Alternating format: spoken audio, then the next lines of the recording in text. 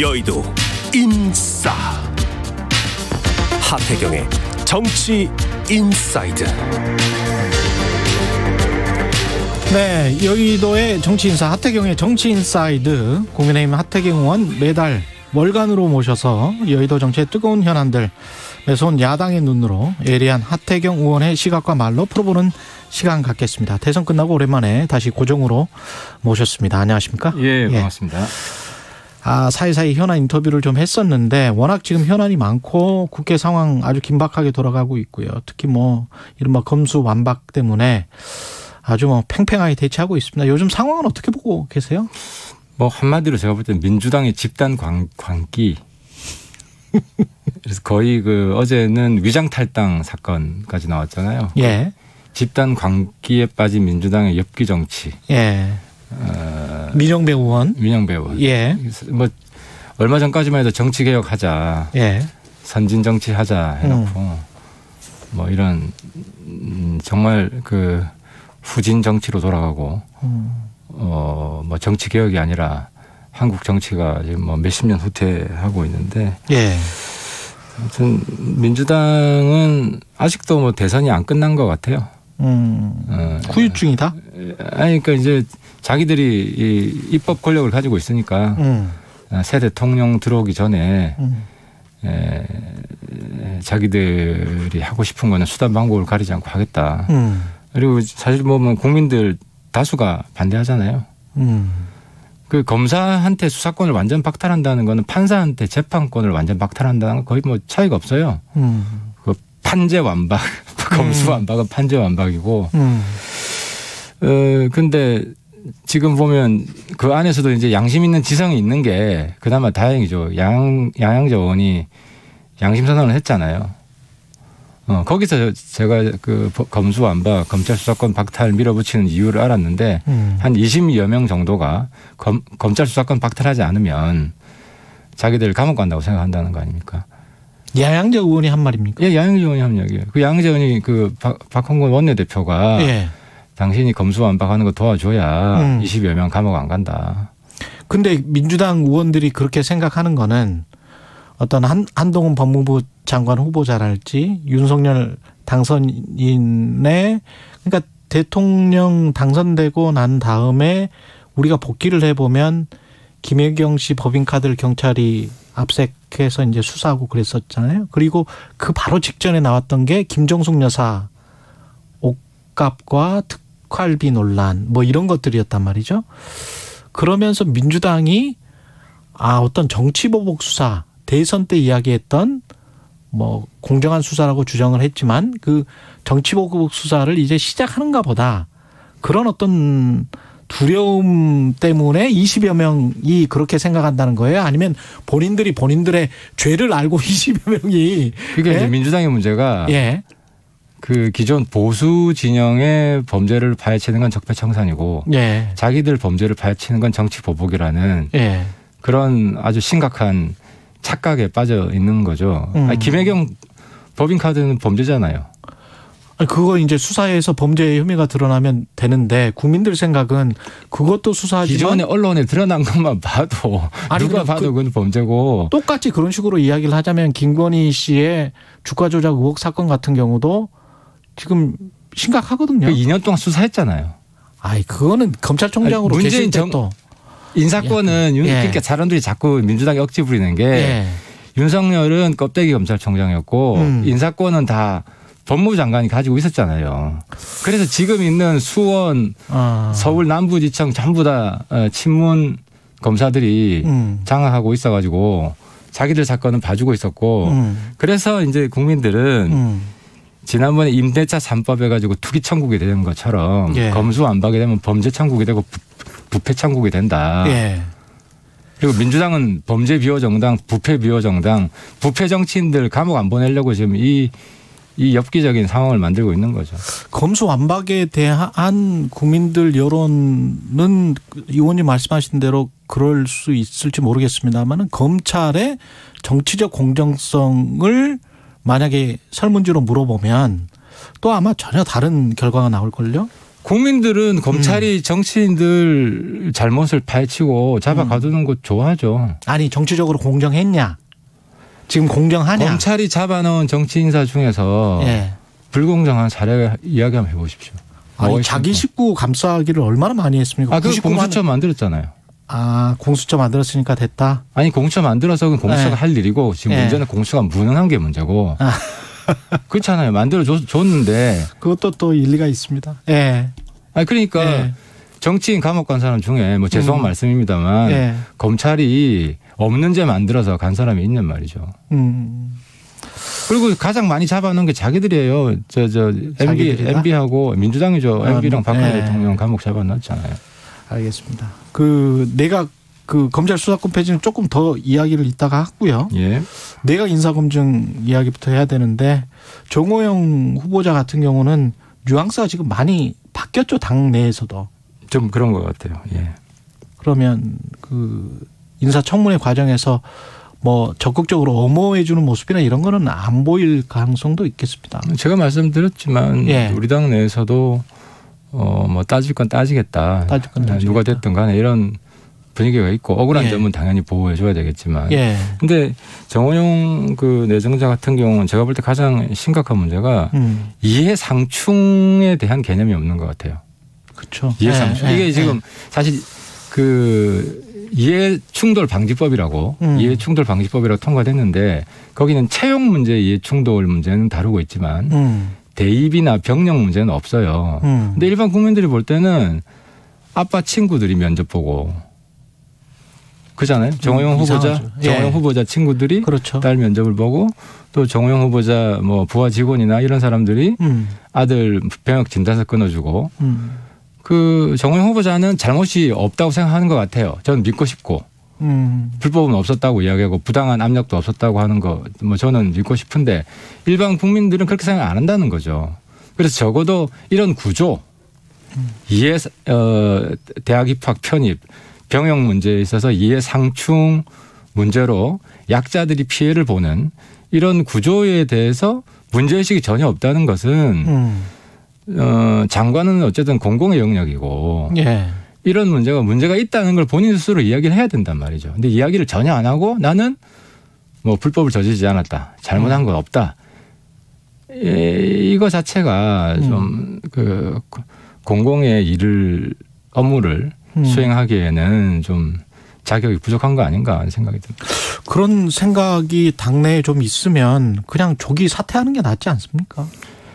어, 이제 문제는 본인도 지금 고민하고 있을 거예요. 근데 본인이 네. 이 자기의 문제가 뭔지 마음 깊숙이 좀 이해를 해야 아, 내가 사퇴해야겠구나. 음. 자발적으로 이 사퇴할 마음이 생겨나야 사퇴하는 거거든요. 그러니까 좀 시간을 줄 필요는 있다고 생각, 생각이 됩니다. 국민의힘 입장에서는 시간을 줄 필요가 있다. 아, 그렇죠. 그렇지 예. 않으면은 뭐 또 압박에 의한 사태다. 예. 이런 다른 또 부작용이 나올 수 있기 때문에 음. 어쨌든 좀 시간을 좀 주면서 어, 이번 사태의 본질적인 문제가 뭔지 음. 자꾸 저 후보자 본인은 나는 불법한 것도 없고 압력 행사한 것도 없는데 예. 이렇게만 생각하거든요. 예. 그래서 는 윤석열 정부도 이번 기회에 과거에 지난번에 다루지 않았던 음. 대학 입학 혹은 병역 문제에 있어서 이해 상충 문제 예. 이 문제를 어떻게 풀 건가 아빠가 의대 교수고 뭐 법대 교수고 음. 그러면 자식들이 그 학교 지원했을 때 혜택을 받을 수 있지 않나 하는 국민 의심이 강하게 있거든요. 아, 그럼요. 그렇지. 예. 이런 의심을 구조적으로 어떻게 풀 것인가. 예. 이건 윤석열 정부가 어, 뭐 예를 들어 뭐 대학 입시 이해, 이해 충돌 방지 예.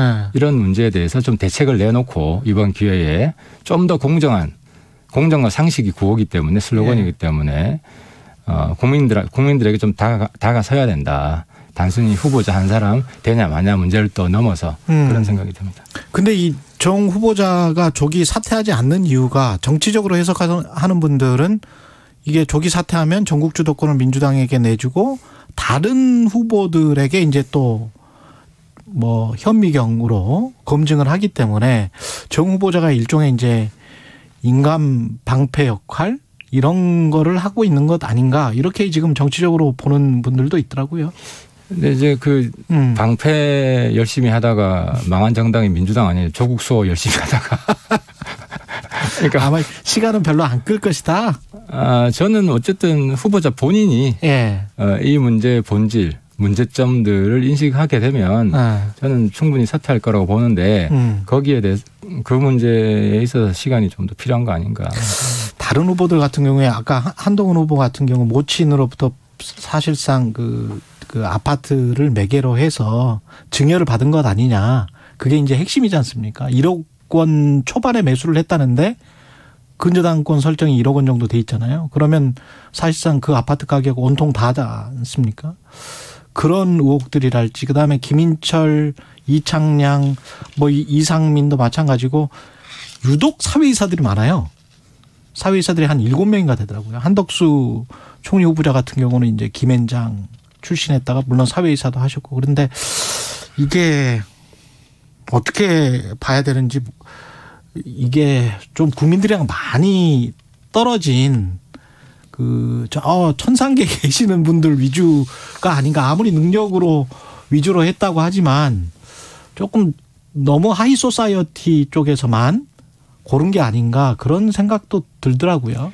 이게 이제 능력 위주의 인선이다 예. 보면 능력 있는 분들이 사회 곳곳에 여러 가지 역할을 하시잖아요. 예. 역할을 더 많이 하시잖아요. 예. 거기에서 빚어지는 문제인데 예. 예. 그 문제도 제가 조금 전에 말씀드린 이해 충돌. 그렇죠. 그런 그 영향권 안에 있지 않을까 있다면 그렇죠. 이 이해 충돌을 어떻게 막을 건가. 네. 아 근데 저는 그렇게 생각해요. 그 예를 들어서 요즘은 변호사 하다가도 검사하는 분이 있거든요. 그렇죠. 완전 역할이 다르잖아요. 변호사다가 판사하시는 분들도 있고. 아, 그렇죠. 예, 예. 를 들어 대표적인 분 윤석열 당선자예요. 변호사 예. 좀 하다가 아. 검사를 하거든요. 예. 그럼 변호사 하는 하게 되면 음. 이제 어쨌든 범죄 혐의자들을 변호 변호해 줘야 되잖아요. 검사는 그걸 잡아야 되고. 그리고 법무법인에서 또 돈도 버는 것이고. 아 직분이 그러니까 예. 문제는 직분이 달라지면 그렇죠. 공공식이 투철한 분은 그 직분에 충실한다는 거죠. 아. 그렇다고 해서 윤석열 당선자가 검사할 때 예. 범죄 비호했냐 전혀 아니잖아요. 음. 철저히 파헤쳤잖아요. 그래서 이제 저는 이번 인선이 공공의식 이런 게 투철한 분들일 것이다. 때문에 것이다. 그 사회 이사 했다고 해서 어. 그 회사를 봐주기 위해서 자기가 장관하면 어. 그 회사에 종속된 분이 아니라는 거죠. 그럴까요? 아, 그래서 믿어봐야죠. 이건 제 생각인데 어쨌든 윤 정부는 예. 이해 충돌이 일어나지 않는다는 걸 좀더 음. 확실히 보여줄 수 있는 대책을 좀 마련해야 된다고 생각합니다. 너무 그러니까 혹시 대기업 편이나 재벌 편이나 어떤 그런 쪽으로만 치우치지 않을까라는 그런 우려. 그다음에 이제 강남에 아파트 소유하신 분들도 뭐 그 정도 인원수 일곱 여덟 명 정도는 되는 것 같은데. 그건 반대일 거예요. 원래 특수부라는 예. 게 대기업 때려잡는 것이 특수부예요. 아니 뭐 다 특수부 출신이 아니고 장관 후보자들 제가 말씀드린. 아니 그러니까 이 예. 정부의 예. 특성 자체가 이 정부의 특성 자체가 친재벌일 수가 없는 게 친재벌일 수는 재벌 수사를 하도 많이 해봐서 아. 재벌의 문제점을 그 누구보다도 속속들이 잘하는 사람들이에요. 음. 그래서 재벌 봐주기 위해서 어떤 사회 이사를 임명하려고 한다. 네. 이건 억지 논리라는 거죠. 알겠습니다. 이 아까 그 검찰 수사권 폐지 같은 경우는 민주당이 그냥 강행 처리할 것 같습니까? 어떻게 보십니까? 박병석 국회의장이 어 변수기는 합니다. 민주당은 지금까지 왔는데 멈출 수는 없죠. 그리고 이 동기가 예. 뭐 어떤 정의감에서 비롯되는 게 아니라 자기들의 생존, 나는 감옥 간다 몇십 명이 음. 그 동력으로부터 나온 거기 때문에 예. 어 그냥 쉽게 포기할 수 있을까요? 포기하면 나는 감옥 간다고 생각하는 사람들인데. 강력하게 밀어붙일 것이고 예. 박병석 의장한테도 강하게 압박을 할 거예요. 아. 압박을 할 텐데 뭐 예. 물론 이제 박 의장님은 아마 뭐 하루하루 번뇌의 밤을 보낼 겁니다. 어떤 음. 입장을 취할지.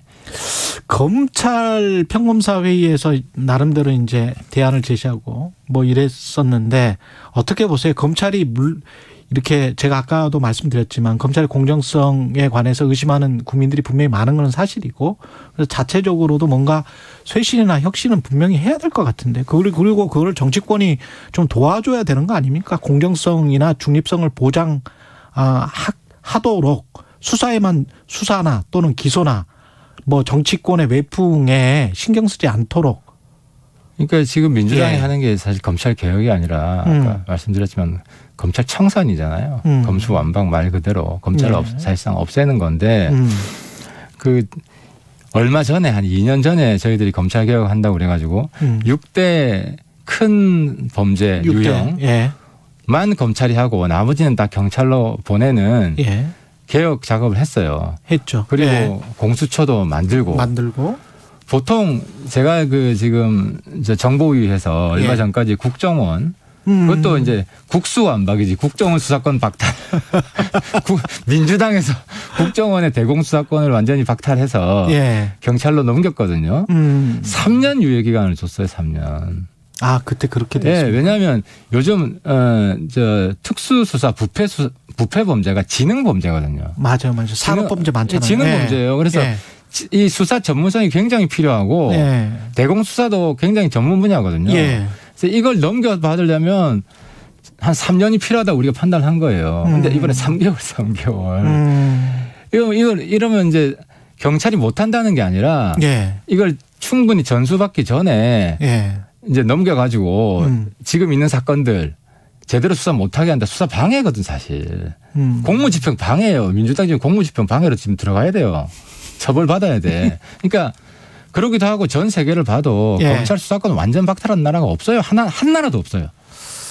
알겠습니다. 그 마지막으로 그 BTS 있지 않습니까? 예, 예. BTS 그 병역 특례 관련해서는 지금 국회 논의 상황이 어떻습니까? 이게 처음 문제, 문제 제기하신 이 분이 논의된 게 한 4년 됐는데요. 예 하의원님이시잖아요. 예, 그렇죠. 예. 그때 제가 이제 문제 제기한 거는 형평성 문제였어요. 음, 왜 지금 성악 판소리 이쪽 분야는 맞아요. 병역 특혜를 받고 있는데 피아니스트 뭐. 예. 예, 대중 가수는 왜 안 되냐. 음, 그래서 없애면 다 없애고 주려면 다 줘라. 이게 이제 논의의 출발인데 예.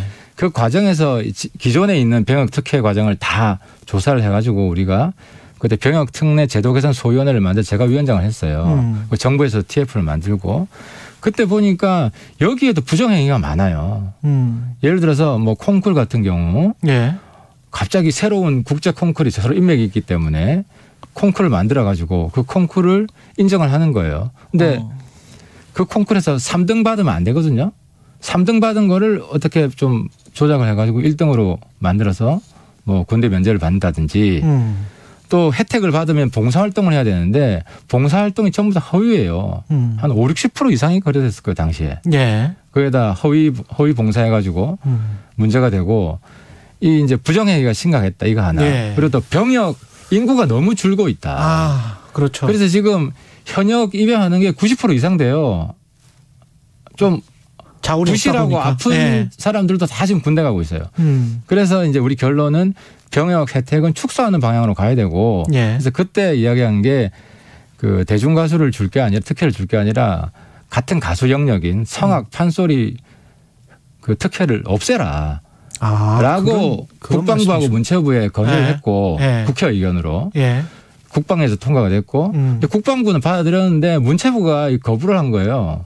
그래서 제가 그때 문체부 굉장히 비판을 했어요. 음. 그래서 지금 황희 장관이 음. 당시 이제 국회 의견과 대립되게 지금 혜택을 주려고 하는 건데 예. 신임 문체부 장관은 음. 어쨌든 이 혜택을 줄이기 위해서 좀 노력을 해야 된다고 봅니다. 알겠습니다. 여기까지 듣겠습니다. 하태경의 정치 인사이드, 예, 국민의힘 하태경 의원이었습니다. 고맙습니다. 예, 감사합니다. 공정, 공익, 그리고